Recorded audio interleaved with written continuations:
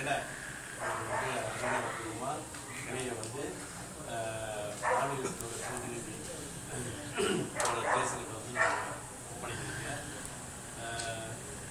இது வந்து உள்ளபடியே ஒரு சந்தோஷமான விஷயம். ஏன்னா நேரத்தில் நான் வந்து இந்த அதாவது நம்ம கூட பேசிட்டு வந்து ரவுண்ட் டேபிளாக ஒவ்வொரு மனசுக்கு என்ன இருக்குது உங்களுக்கு கருத்து சொல்லலாம் உங்களுக்கு கேட்கலாம். என்ன சொல்ல வரேன்னா இன்னைக்கு வந்து டிஏபியில் வந்து இன்னைக்கு மெம்பர் ஆகுறது வந்து ஆஹ், ஒரு பெரிய விஷயமே கிடையாது. இன்னைக்கு டிஏபியில் வந்து மெம்பர் ஆகலாம். ஆஹ், நான் மெம்பர் ஆக போகணும் நான் ஒரு உறுப்பினர் ஆக போகணும்னா உடனே உறுப்பினர் ஆகலாம். ஆஹ், அதுக்கு வந்து எந்த தடுமும் கிடையாது எந்த பிரச்சனையும் கிடையாது. ஆனா இதே ஒரு நேரத்துல ஆயிரத்தி தொள்ளாயிரத்தி எண்பத்தி ஆறுல எண்பதுகளில் எண்பதுகள்ல தொண்ணூறுகள்ல கூட சொல்லலாம். அன்னைக்கு வந்து ஐஏசின்ற ஒரு சட்டம் குறிப்பா அந்த ஐஏசி வந்து அரசியல் கைதிகளை அதாவது அரசியல குறிப்பா அரசியல் கைதிகள். யாருன்னு கேட்டீங்கன்னா எதிர்க்கட்சி தான். அன்னைக்கு எதிர்கட்சியில யாருன்னா ஒரே கட்சி வந்து மலேசியாவிலேயே டிஏபி அடுத்தது வந்து பாஸ். பாஸ் வந்து குறிப்பா தமிழ்நாடுகளுக்கு வந்து பாஸை பத்தி அவங்க அதை ஆய்வு பண்ண மாட்டாங்க. அப்ப டிஏபி டிஏபின்னு யாருன்னு கேட்டீங்கன்னா அப்ப இருந்த தோழர் பி பட்டு தோழர் டேவிட். அப்ப இங்க இருந்து வந்தவர் ஒருத்தர் ராமன் டிஏபி ராமன் அவர் சிரமம்ல தான் வந்து அவர் உயிர் தெரிஞ்சிச்சு அந்த மாதிரி இந்த நாட்டுல வந்து உண்மைக்காக நீதிக்காக நேர்மைக்காக இந்த சமுதாயத்துக்காக உழைச்சவங்க அவங்க எல்லாம் இருந்தாங்க பாருங்க. இன்னைக்கு அவங்க இல்ல. அவங்களோட பரிசுத்தமான ஆன்மா உள்ள ஒவ்வொரு உள்ளத்திலையும் இருக்கும் பாருங்க. ஏன்னா அவங்க வந்து அவங்களுக்காக உழைக்கல. இந்த சமுதாயம் நல்லா இருக்கணும். இந்த சமுதாயத்துக்கு ஒரு விழிப்புணர்ச்சி கொண்டு வரணும் அப்படின்னு அன்னைக்கு வந்து அந்த போராட்டத்தில் இருந்தாங்க. அப்படி நம்ம பார்த்தோம்னா அவங்கெல்லாம் வந்து ஐஏசியில போய் ரொம்ப பிரச்சனை. அதை வச்சு என்ன சொல்லுவாங்கன்னா எதிர்கட்சியில் சேர்ந்தா போலீஸ் பிரச்சனை கொடுக்கும் போலீஸ் பிடிக்கும் ஆஹ் நமக்கு கிடைக்கிறது கிடைக்காம போயிடும். இப்படிலாம் வந்து ஒரு காலம் பயந்த காலம் பாருங்களேன். ஆனா ஏறக்குறைய உலகத்திலேயே ஐம்பத்தி அஞ்சு வருஷமா ஒரே கட்சி இந்த நாட்டை ஆளுதுன்னு சொன்னா அது அம்னோ பாரிசான் தான். ஏன் அம்னோ பாரிசான் வந்து எல்லாத்துக்கும் அந்த மனசுல வந்துருச்சுன்னா ரோடு போட்டா அம்னோ பாரிசான் ஒரு டிராபிக் லைட் போட்டா அம்னோ பாரிசான் ஒரு கவர்மெண்ட் ஹாஸ்பிட்டல் கட்டினா அம்னோ பாரிசான் ஒரு பாலாய் போலீஸ் கட்டினா அம்னோ பாரிசான். அப்படி ஒவ்வொன்னு பார்த்தோம்னா எல்லாமே இந்த அரசாங்கம் தான் செய்யுது அப்படின்றத இந்த அரசாங்கம் தான் செய்யுதுன்றது அப்படியே அவங்க தோந்துட்டாங்க அது ஒரு காலம். அன்னைக்கு எந்த காலம்னு கேட்டா தோழர் காந்தி சொன்னது போல அன்னைக்கு நினைச்சது தோட்டத்தோட காலம். இன்னைக்கு தமானோட காலம். இன்னைக்கு தமானோட காலத்துல இந்த பக்கம் ரைட் ஹேண்ட் சைட் எடுத்துக்கிட்டாலும் சரி இந்த பக்கம் லெப்ட் ஹேண்ட் எடுத்துக்கிட்டாலும் சரி ஒரு வீட்டுக்கு ஒரு பிள்ளையாவது குறைஞ்ச படிப்பு டிப்ளமாவது வச்சிருக்கோம்.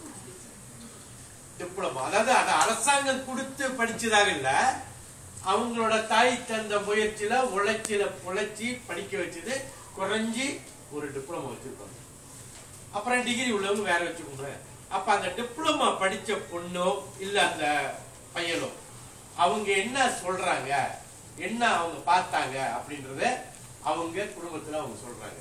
இன்னைக்கு இந்த அரசாங்கத்தை மாத்த போறதே அவங்க தான் மாத்த போறாங்க. அவங்க தான் மாத்த போறாங்க. ஏன் அவங்க மாத்த போறாங்கன்னா அவங்க தான் சொல்றாங்க நான் போய் அதாவது அரசாங்க அரசாங்கம் மூலியமா படிக்க போயிருந்தா கூட அதாவது ஒரு ஏழு ஏ எட்டு ஏ பத்து ஏ பன்னெண்டு ஏ எடுத்து அவங்க வந்து ஒரு ஒரு யூனிவர்சிட்டிக்கு போயிருந்தா கூட அன்னைக்கு அவங்க இங்கேருந்து யூனிவர்சிட்டிக்கு போகிறதுக்கு முன்னே அவங்க வந்து யாராக இருந்திருப்பாங்கன்னு கேட்டிங்கன்னா ரொம்ப பேர். பக்கத்து வீட்டில் உள்ள பிரச்சனை என்ன தெரியாது சுத்து வட்டார பிரச்சனை எல்லாம் தெரியாது. அது ஏன் நம்ம மற்ற பிரச்சனை தெரிஞ்சுக்கணும்? நம்ம வரைக்கும் நம்ம பாத்துக்கோமே அப்படின்னு போனவங்க அப்படி போனவங்க அப்படி போனவங்க யூனிவர்சிட்டிக்குள்ள பூந்தோனியே புறக்கணிக்கப்பட்டாங்க. அவங்க அமுத்தப்பட்டாங்க. அவங்க நசுக்கப்பட்டாங்க. அப்பதான் அவங்க நினைச்சாங்க ஆஹா நமக்குன்னு ஒண்ணு வேணும். அப்பதான் அவங்க அவங்க எல்லாம் அல்லா அதாவது இந்தியர் பிள்ளைகள் எல்லாம் ஒண்ணு சேர்ந்தாங்க. இளைஞர்கள் எல்லாம் ஒண்ணு சேர்ந்தாங்க. ஒன்று சேர்ந்து அவங்க முடிவு பண்ணாங்க. நமக்காவது ஒண்ணு அமைப்போம். அப்ப அவங்க தான் இன்னைக்கு வந்து இவ்வளவு பெரிய ஒரு மாற்றத்துக்கு அவங்க தான் அடிவேரா இருக்கிறாங்க. அப்ப அவங்க அடிவேரா இருக்கும்போது நிச்சயமா நம்ம வந்து அவங்களுக்கு வந்து நீராகவும் உப்பாகவும் இருந்தா போதும். இன்னைக்கு அவங்க வருவாங்க உங்க வீட்டுக்கு வருவாங்க. அவங்க தான் அந்த இதை செய்ய போறாங்க. இந்த மாற்றத்தை உண்டு பண்ண போறாங்க. ஏன்னா இந்த மாற்றம்ன்றது வந்து இறைவன் இருந்தாருன்னா அவருக்கும் தெரியும். இயற்கை இருக்கு இயற்கை செய்து இந்த மாற்றம். இன்னைக்கு உலகம் முழுவதும் மாற்றம் வருது பாருங்க. ஏசியா முழுவதும் மாற்றம் வந்துருச்சு. இப்படி எல்லாம் மாற்றம் வரும்போது நிச்சயமா இங்கேயும் அந்த மாற்றம் அந்த காத்து அடிக்கும். அதனால அது ஒண்ணு இல்ல ரெண்டாயிரத்தி பதிமூணுல அடிக்கலாம். இல்ல ரெண்டாயிரத்தி பதினாலுல அடிக்கலாம். இல்ல ரெண்டாயிரத்தி பதினஞ்சில் அடிக்கலாம். ஆனா இந்த ரெண்டாயிரத்தி பதிமூணுன்றது இது எடுத்த ஒரு அதாவது ஒரு ஒரு ஒரு ஒரு ஒரு பயங்கரமான முயற்சி. யாரு செய்யறான்னா பக்கத்தான் ராயத்தில் உள்ளவங்களும் செய்யறாங்க. அதே சமயத்துல பாரிசான் உள்ளவங்களும் செய்யறாங்க. அப்ப ஏன் பாரிசான் உள்ளவங்க வந்து இன்னும் அதிகமா ஆஹ், அதிகமா காசு கொடுத்து இந்த வாட்டி அதிகமா காசு கொடுத்து செய்வாங்கன்னு கேட்டா இது வாழ்வான் தாழ்வான் ஏன்னா இன்னைக்கு வந்து இந்த அம்னோ அரசாங்கம் அம்னோல உள்ளவங்க உயர்ந்த பதவியில அம்னோல உள்ளவங்க இந்த நாட்டில இருந்து நம்ம உழைச்ச பணத்தை அதாவது எட்டாயிரத்தி எண்ணூத்தி எண்பத்தி ஆறு கோடி வெள்ளிய வெளிநாட்டுக்கு கொண்டு போயிருக்காங்க. எட்டாயிரத்தி எண்ணூத்தி எண்பத்தி ஆறு கோடி கோடி பணத்தை இந்த நாட்டுல இருந்து ரிங்கிட் மலேசியாவை வெளிநாட்டுக்கு கொண்டு போயிருக்காங்க. இத வந்து நாடாளுமன்றத்துல தோழர் குலா கேட்டதுக்கு எந்த அம்னோ உறுப்பினரும் பதிலே சொல்லல. அப்ப இது வந்து மகா பெரிய உண்மை. அப்ப நம்ம என்ன சொல்ல வரோம்னா இன்னைக்கு வந்து நமக்கு வந்து நம்ம வந்து என்ன இந்த மக்கள்கிட்ட சொல்றோம்? சரி பக்கத்தன் ரயாட் சொல்றாங்களே அது நடக்குமா? அப்படின்னு ஒரு கேள்விக்குறி போட்டா ஏன் நடக்காது அப்படின்றதுக்கு விளக்கம் சொல்லணும். அவங்க கேள்விக்கு நம்ம நிச்சயமா பதில் சொல்லணும். ஏன் நடக்காது? நடக்கும் அப்படின்னு.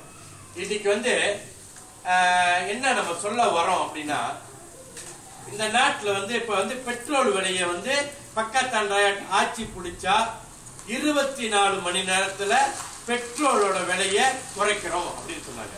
எப்படி குறைக்க போறோம் அப்படின்னா பெட்ரோலோட பெட்ரோல் மட்டும் இந்த நாட்டுல பெட்ரோலோட பெட்ரோனாஸ்ல இருந்து வரக்கூடிய பெட்ரோலோட ஆதாயம் நம்மளோட வந்து நெட் ப்ராஃபிட் வந்து மொத்தம் வந்து நமக்கு வந்து ஏறக்குறைய எட்டாயிரம் கோடி. எட்டாயிரம் கோடி வெள்ளி வந்து நமக்கு வந்து ஆதாயம் வருது. அதாவது நமக்கு நெட் ப்ராஃபிட் வருது பாருங்க.